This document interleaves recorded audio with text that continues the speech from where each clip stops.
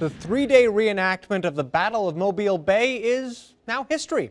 Thousands of actors and spectators took part.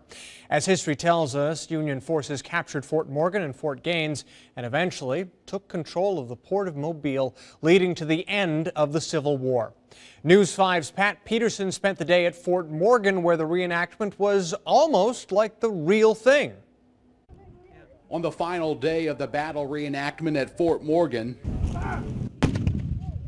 Confederate soldiers stationed at the fort are outnumbered and outgunned. They had run out of supplies, out of ammunition. The citadel within the fort had already burned, and so really surrender was the only choice they had.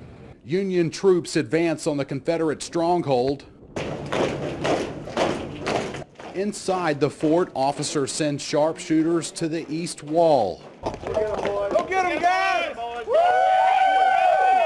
But their defenses aren't enough.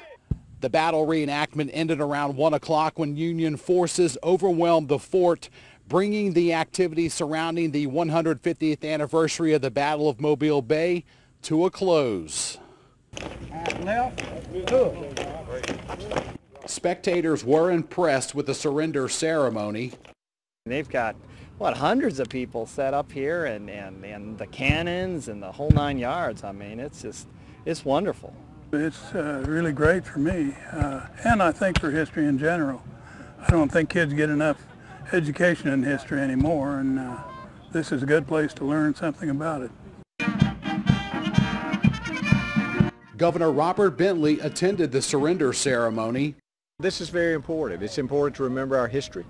Uh, you know, this fort actually goes back to the War of 1812.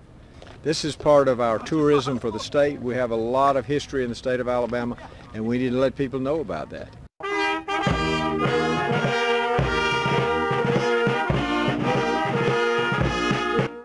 The three-day reenactment entertained and educated thousands, living history you won't find in any Civil War book. The Baldwin County beat, Pat Peterson, News 5.